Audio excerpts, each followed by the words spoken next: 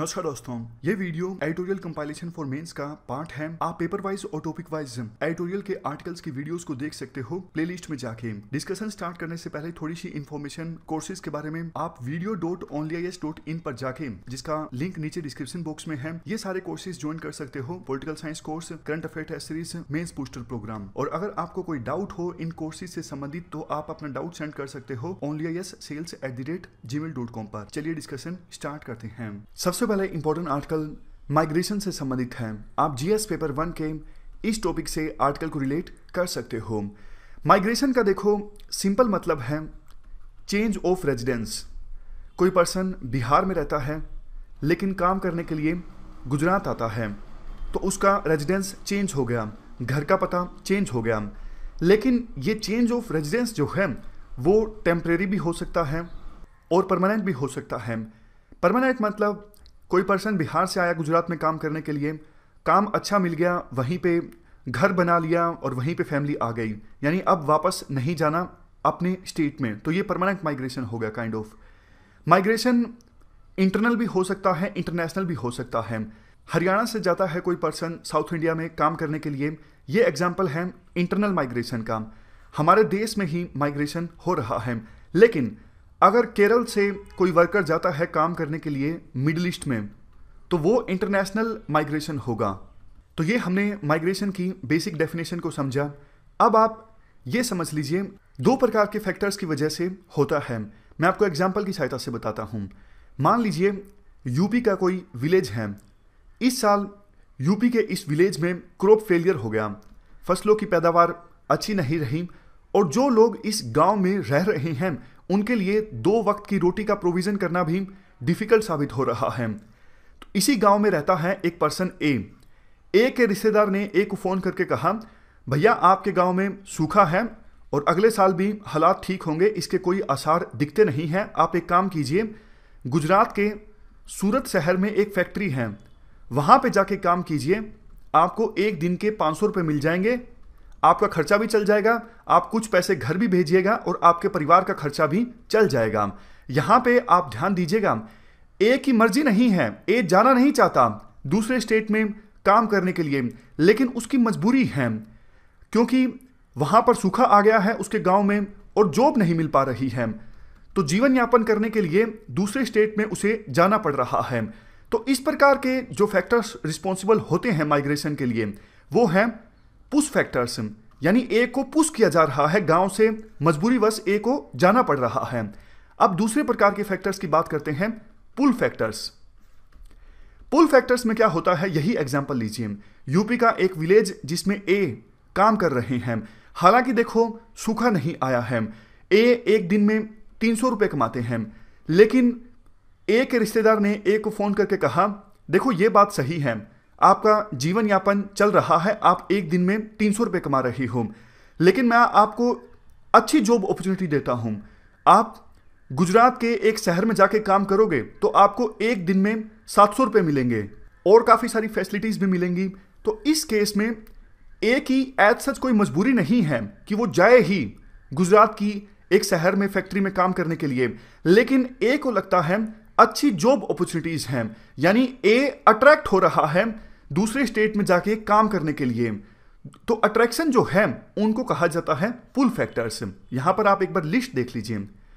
पुल factors जैसे गाँव में सूखा आ जाता है, बाढ़ आ जाती है, या फिर जॉब अपॉर्चुनिटीज़ बहुत ज़्यादा कम हो जाती हैं। ये फैक्टर्स नेगेटिव फैक्टर्स हैं, मजबूरी है यहाँ पर। जबकि पुश फैक्टर्स पॉजिटिव फैक्टर्स हैं, यहाँ पे अट्रैक्शन है। अच्छी जॉब अपॉर्चुनिटीज़ के प्रति हेल्थ फैसिलिटीज़ के प्रति एजुकेशन के प्रति। समझ गए? दो प्रकार के फैक्टर्स कौन से होते हैं? पुल फैक्टर्स और पुश फैक्टर्स अब हम बात करते हैं चैलेंजेस की। माइग्रेंट्स के सामने कौन कौन से चैलेंजेस होते हैं या फिर माइग्रेशन में कौन कौन से चैलेंजेस इन्वॉल्व हैं? सबसे पहला challenge lack of skills skills ना हो पाने की वजह से अच्छी जॉब नहीं मिल पाती उस पर्सन को जो माइग्रेट करता है एक स्टेट से दूसरे स्टेट में। नेक्स्ट पॉइंट कहा यह जाता है अर्बन एरियाज़ में, यानी सिटीज़ में इकोनॉमी ज़्यादा फॉर्मल होती है। देखो फॉर्मल और इनफॉर्मल के बीच का डिफरेंस आपको बता देता हूँ। फॉर्मल सेक्टर वो सेक्टर है जिसमें फर्म्स गवर्नमेंट के कानूनों को फॉलो करती हैं। मान लीजिए, कोई लेबर लॉज हैं, उनको फॉलो किया जाता है। गवर्नमेंट के जो दूसरे रेगुलेशंस हैं, उनको भी फॉलो किया जाता है। तो जो पर्सनस इस प्रकार की फॉर्म्स में काम करते हैं काइंड kind ऑफ़ of उनको जॉब एश्योरेंस रहता है, उनको हटाया नहीं जाएगा। तो ये सेक्टर है फॉर्मल सेक्टर इनफॉर्मल सेक्टर वो सेक्टर है जिसमें फैक्ट्रीज फार्म्स गवर्नमेंट के लेबर लॉस को फॉलो नहीं करती, दूसरे रेगुलेशंस को फॉलो नहीं करती, और जब मर्ज़ी चाहे वर्कर्स को हटा दिया जाता है। देखो माइग्रेंट्स जब शहरों में आते हैं तो उनके पास स्किल्स नहीं होती। तो फॉर्मल सेक्टर में उनकी जॉब लग नहीं पाती। उनको काम करना पड़ता है इनफॉर्मल सेक्टर में। इंडिया के बारे में कहा जा रहा था इंडिया का जो इनफॉर्मल सेक्टर है, वो ट्रांजिएंट है। मतलब थोड़े समय बाद इंडिया का इनफॉर्मल सेक्टर फॉर्मल सेक्टर में बदल जाएगा। लेकिन ऐसा देखने को नहीं मिल रहा है। माइग्रेंट्स ज़्यादातर शहरों में आते हैं, उनकी जॉब इनफॉर्मल सेक्टर में लगती है तो इनफॉर्मल सेक्टर इंडिया का एक्सपेंड होता जा रहा है। नेक्स्ट पॉइंट इनफॉर्मल सेक्टर में वेजेस काफ़ी कम दिए जाते हैं वर्कर्स को। और काफ़ी बार ये भी देखने को मिलता है माइग्रेंट्स शहरों में जाके कुछ छोटा मोटा काम पकड़ लेते हैं खुद से ही। मान लीजिए कोई पर्सन एक स्टेट से दूसरे स्टेट में आया, उसे काम नहीं मिल पाया तो उसने रिक्शा चलाना स्टार्ट कर दिया। या फिर कोई रेडी वगैरह लगा ली वेंडर बन गया वो। इन कामों में भी कई बार कुछ खास जॉब प्रोस्पेक्ट्स होते नहीं हैं। नेक्स्ट पॉइंट जब देखो कोई पर्सन एक स्टेट से दूसरे स्टेट में माइग्रेट करता है काम करने के लिए तो उसे दूसरी प्रकार की कीमतें भी चुकानी पड़ती हैं। फॉर एग्ज़ाम्पल सर्च कोस्ट अब कईयों के तो सोशल कनेक्शंस होते हैं। उन्हें पता होता है डायरेक्टली यहाँ पे जाने के बाद काम मिल जाएगा। लेकिन कुछ पर्सनस ऐसे भी होते हैं जिनको कुछ पता ही नहीं है। वो एक स्टेट से जाते हैं दूसरे स्टेट में काम करने के लिए तो काफ़ी समय तक तो उन्हें ढूंढना पड़ता है जॉब को। तो इस जॉब ढूँढने की प्रोसेस में उनका काफ़ी खर्चा हो जाता है। सर्च कोस्ट या फिर इस चक्कर में काफ़ी बार उनको धोखा का भी सामना करना पड़ता है। कुछ लोग कहते हैं कि हम आपको जॉब दिलवा देंगे, उनसे पैसे ले लिए जाते हैं।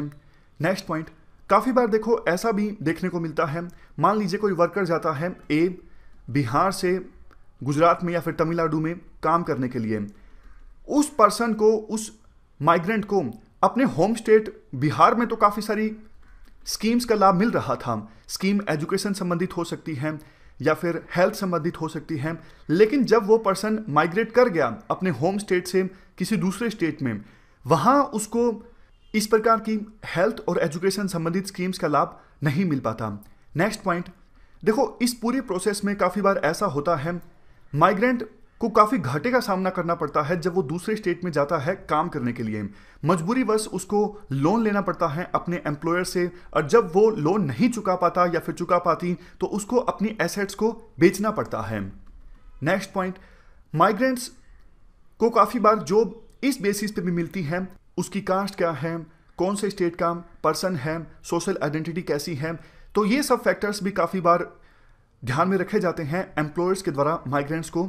जॉब देते वक्त। तो यूजली हो ऐसा जाता है नेक्स्ट पॉइंट है, हो ऐसा जाता है माइग्रेंट्स को जो लोकल वर्कर्स के अपेक्षाकृत कम वेजेस मिलते हैं। अगर लोकल वर्कर को सौ रुपये मिलते हैं, उसी जॉब के लिए माइग्रेंट को छियासठ रुपये मिलते हैं। यानी एवरेज रूप से लोकल वर्कर के अपेक्षाकृत दो तिहाई वेजेस मिलते हैं माइग्रेंट वर्कर्स को। तो ये हमने सारे चैलेंजेस डिस्कस किए जो माइग्रेंट्स को फेस करने पड़ते हैं। लेकिन देखो पॉजिटिव भी हैं कुछ। इन सब फैक्टर्स के बावजूद ये बात भी सच है डेटा शो करता है माइग्रेंट्स इनकम कमा के जो अपने होम स्टेट में भेजते हैं, उससे उनके परिवार गरीबी रेखा से ऊपर आ जाते हैं, उनका जीवन यापन अच्छे से हो जाता है, उनकी क्रेडिट वर्दीनेस भी इंप्रूव हो जाती है। क्रेडिट वर्दीनेस मतलब एक सिंपल एग्जांपल है, आपने भी ये कहावत सुनी होगी देखो, आज के समय में जिसके पास जितना पैसा है, उसको लोन मिलना उतना ही आसान है। गरीब लोगों के पास पैसा नहीं होता तो उन्हें कोई पैसा देता भी नहीं लोन के तौर पर। लेकिन चूँकि माइग्रेंट वर्कर थोड़ा बहुत पैसा कमा के अपने परिवार को देता है होम स्टेट में तो उसकी फैमिली लोन आसानी से प्राप्त कर लेती है अगर उनको आवश्यकता होती है। अब हम बात करते हैं माइग्रेंट्स स्पेसिफिक कौन सी स्कीम्स चलाई जा रही हैं सरकार के द्वारा उनकी वेलफेयर के लिए। आर्टिकल में कहा जाता है, सरकार की ज़्यादातर जो स्कीम्स हैं, वो जनरल हैं। एजुकेशन संबंधित हेल्थ संबंधित, ये स्कीम्स मकसद ये होता है, गरीबी रेखा से ऊपर लेके आना। यानी माइग्रेंट्स स्पेसिफिक सरकार की कोई इफ़ेक्टिव पॉलिसी या फिर इफ़ेक्टिव इंटरवेंशन नहीं है। सरकार दो प्रकार की स्कीम्स चला सकती है माइग्रेंट्स के वेलफेयर के लिए। दो प्रकार का इंटरवेंशन सरकार कर सकती है। एक तो देखो पुल फैक्टर्स को मिनिमाइज करना। याद कीजिए वो एग्ज़ाम्पल यूपी का एक विलेज जहाँ पे सूखा आ जाता है एक को मजबूरी बस काम करने के लिए जाना पड़ता है दूसरे स्टेट में। तो ऐसी सिचुएशन पैदा ही ना हो। अगर देखो यूपी के गाँव में सूखा आता है तो यूपी की सरकार उस गाँव को राहत पहुँचाने के लिए कुछ ना कुछ करे, ताकि मजबूरी बस उस गाँव के लोगों को माइग्रेट करना ही ना पड़े दूसरे स्टेट में। यानी reducing stress induced migration stress की वजह से जो माइग्रेशन होता है, उसे मिनिमाइज करना पुल फैक्टर्स को कम से कम करना। दूसरा इंटरवेंशन सरकार की तरफ़ से ये हो सकता है, अगर पुश फैक्टर्स की वजह से माइग्रेशन होता है तो ये इंश्योर किया जाए, एक स्टेट से दूसरे स्टेट में जो पर्सन जा रहा है काम करने के लिए माइग्रेट कर रहा है, उसको वहाँ पर बेहतर फैसिलिटीज़ मिले। जॉब कंडीशंस अच्छी हों। कहने का एसेंस ये है सरकार को डिफ्रेंशिएट करना होगा। माइग्रेंट्स फॉर सर्वाइवल और माइग्रेंट्स फॉर एम्प्लॉयमेंट के बीच। नेक्स्ट पॉइंट देखो सीजनल माइग्रेंट्स यानी वो लोग जो एक साल में छह महीने के लिए दूसरे स्टेट में जाते हैं काम करने के लिए, उनके लिए डायनामिक पॉलिसी को अपनाना होगा सरकार को उनके वेलफेयर के लिए। स्टेटिक पॉलिसी से काम नहीं चलेगा, एक ही पॉलिसी लगातार चली आ रही है। इस प्रकार के स्टेप्स इफ़ेक्टिव नहीं होते। नेक्स्ट पॉइंट लोकल एनजीओज और लोकल बॉडीज को भी इन्वॉल्व करने की आवश्यकता है, अगर माइग्रेंट्स के वेलफेयर के लिए काम करना है। नेक्स्ट पॉइंट स्किल्स देने की आवश्यकता है, ताकि माइग्रेंट्स की इनफॉर्मल सेक्टर के बजाय फॉर्मल सेक्टर में जॉब लगे। Next point sector specific migration पे ध्यान देने की आवश्यकता है। सेक्टर स्पेसिफिक माइग्रेशन जैसे हाउस होल्ड्स में डोमेस्टिक जो वर्कर्स होती हैं मेड वगैरह, काफ़ी बार उनकी वर्किंग कंडीशंस काफ़ी ज़्यादा खराब होती हैं, उन्हें एक्सप्लोइट किया जाता है। तो सेक्टर स्पेसिफिक माइग्रेशन पे ध्यान देने की आवश्यकता है। नेक्स्ट पॉइंट सरकार की जो स्कीम्स हैं, वो आपस में कन्वर्ज करें। अगर एजुकेशन संबंधित कोई स्कीम है तो वो कन्वर्ज करनी चाहिए लोन संबंधित स्कीम से। अगर सभी स्कीम्स का लाभ एक साथ मिलेगा कॉम्प्लीमेंट्री होंगी सभी स्कीम्स एक दूसरे की, तब माइग्रेंट्स को ज़्यादा अच्छे से बेनिफिट होगा। नेक्स्ट पॉइंट पुश फैक्टर्स पर और ज़्यादा रिसर्च की आवश्यकता है। कौन से स्टेट से कौन से स्टेट की तरफ़ माइग्रेशन ज़्यादा हो रहा है? ट्रेंड क्या है? ट्रेंड अगर समझ में आएगा तो ज़्यादा बेहतर स्कीम्स चलाई जा सकती हैं। और सबसे लास्ट में पॉइंट ये है फाइनेंशियल इंक्लूजन सिस्टम को भी इम्प्रूव किया जाए। माइग्रेंट वर्कर्स काफ़ी बार अभी भी ऐसा देखने को मिलता है, अपना पैसा आसानी से नहीं भेज पाते होम स्टेट में। तो फाइनेंशियल सिस्टम को भी इम्प्रूव करने की आवश्यकता है। ये सारे पॉइंट्स आप दे सकते हो माइग्रेंट्स के वेलफेयर के लिए सारे कदम सरकार के द्वारा उठाए जा सकते हैं। कंक्लूजन में कहा जा सकता है माइग्रेंट्स देखो ऐसा सेक्शन है जो हमारे देश की इकोनॉमिक ग्रोथ रेट में बड़ी भूमिका निभा रहा है, लेकिन सरकार ने अभी तक पर्याप्त कुछ किया नहीं है इस सेक्शन के वेलफेयर के लिए। तो अच्छी अपॉर्चुनिटी है सरकार स्कीम्स चलाए स्टेप्स ले माइग्रेंट सेक्शन के वेलफेयर के लिए। चलते हैं आगे। तो इस डिस्कशन में फ़िलहाल इतना ही है। Thank you thank you very much for discussion